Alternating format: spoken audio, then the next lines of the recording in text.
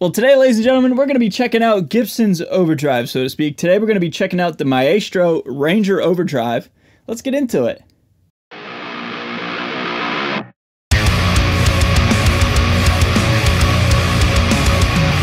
So what's going on everybody? Thank you so much for joining me for today's video. My name is Ray. I'm a guitar player here on YouTube and I'm stoked to do this video, man, because who doesn't love putting pedals in front of your amplifier as a metal player to just make it scream, you know what I mean?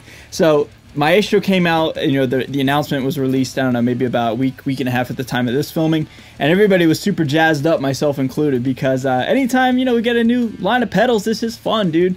Um, so Maestro is a company that was like back in the day, way before I was born, maybe even my parents, but it's back now, and so this amongst several other pedals are out in a new line and um, the overdrive is certainly one that I wanted to check out. So what I'm going to do today is just reset up my room right here and uh, I'm just going to just grab a Les Paul and then just chug a little bit using my Victory Kraken and then uh, just hang out with you all, okay? So let's get into that right now. Alright everybody, so let's check out the Ranger Overdrive, man. So I got my Gibson Les Paul Standard tuned down to drop C sharp with some Seymour Duncans in it, and then the Ranger Overdrive is going into the front of my Victory Super Kraken on channel 2. Now, the Super Kraken doesn't have a lot of gain, and that's on purpose because, uh, well, I have it dialed into where it doesn't have a lot of gain, and that's on purpose because I want to allow this pedal to really shine and, um, you know, do the legwork. So here's my tone without um, the uh, pedal engaged.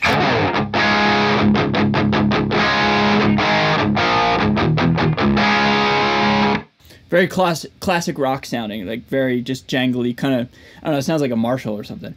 Um, but yeah, man, let's kick this thing on. Let's see what it does.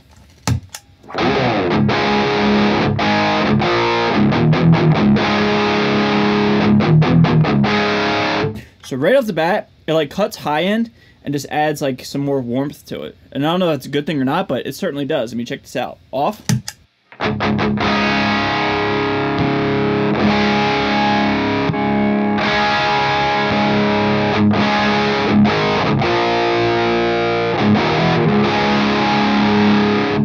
Not bad.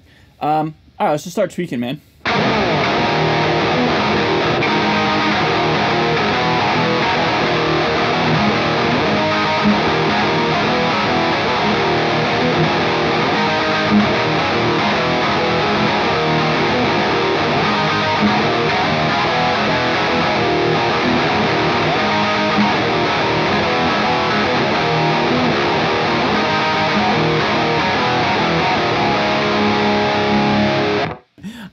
I don't know if that's right, but that's certainly um, my attempt at um, one of my heroes' favorite songs, um, Fluff. Uh, anybody know that tune? Let me know. But uh, yeah, dude. Um, right off the bat, I mean, it kind of just like I said, just kind of adds a little bit of warmth to it. Cuts out some of the high end. Um, it's not like incredibly rowdy just yet, but let's just mess with it, man.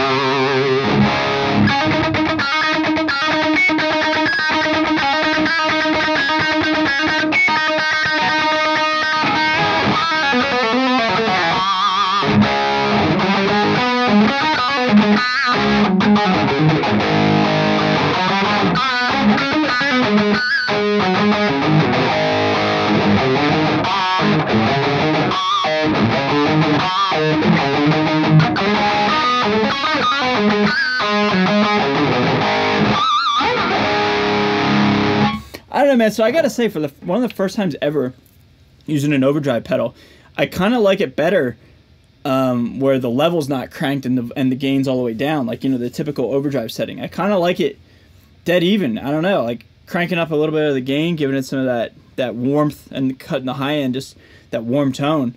Um, but also too not having it super out of control because this is a little too much for me.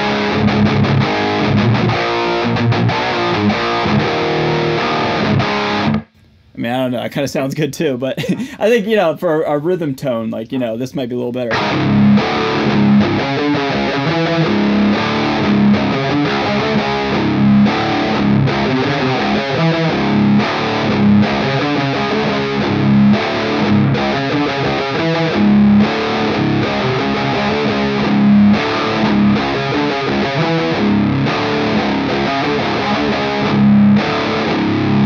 It just growls, man. You know what I mean? Like that just sounds so good to me. Um, yeah.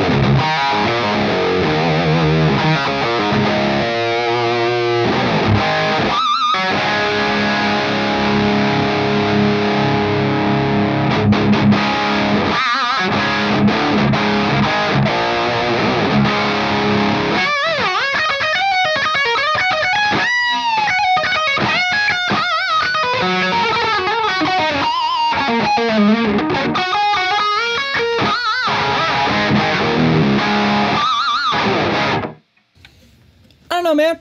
It sounds like an overdrive. you know what I mean? Like it does what it, overdrives do. Um, in terms of like its uniqueness, if there is any, I love. Well, I shouldn't say I love. What's different about this pedal is I just like everything dead noon for whatever reason. Um, the high switch, everything at dead noon. Um, I don't know, man. Just like adds warmth. It cuts out some high end. Just adds a little bit of body, a little bit of a little bit of saturation, but all at the same time, um, not being too harsh or anything like that. It's just like a very you know usable sound. Um, I'm actually pretty impressed and pretty content with my purchase. Um, it's not like a disappointment at all, and it's unique. Something about this pedal just it's a unique sound. Um, now, does it do the metals very well? I mean, it's to be, I guess you know, argued in the comment section. Um, but I just think it has this a unique sound and this is the first pedal that I've ever really come across where like everything dead noon, don't crank up one thing more than the other. It sounds best to my ears, and um, you know maybe next week it'll sound completely different, or with it, or maybe next week I'll have a completely different setting and then I'll like that more. But for right now, for this video. I just like everything just straight down the middle. And that's pretty unique and pretty refreshing. So everybody, that's gonna do it for this video, man. Just a quick little video, dude. So I hope you enjoyed hanging out with me, man. I had a lot of fun just just jamming and riffing on you know, my favorite Les Paul that I own. So anyway, everybody, I'm out of here. Thank you so much for watching. Stay safe, stay healthy, and stay metal. And I'll see you guys next time. Later.